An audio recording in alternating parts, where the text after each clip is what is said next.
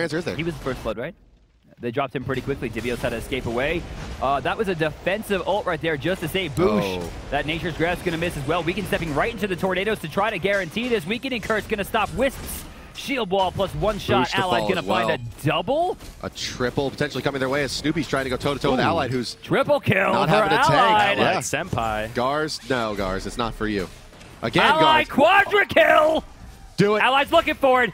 Two shots from the sky. Third one's gonna hit. He's trying for it. He's lower. Allied with the kill! Senpai has done it again. He's reached his final form, ladies and gentlemen. You will notice Look at his the face. senpai. Look at his face. Oh, what a guy. He gets the Penta to shut down Team Solomid in game number three. This one's going to go the way of AFK, ladies and gentlemen. On the back of a Penta kill from the Hunter.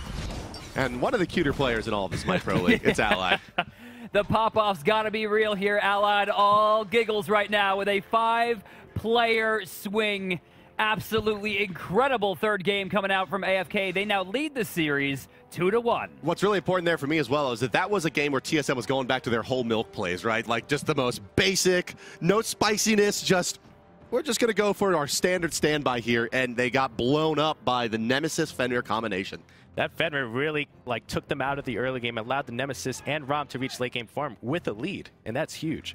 all in all, that was just clean. Every part of it was clean. They shut down Bastet. They made sure that Divios had to work for his farm, and to get it, he had to strip away Boosh.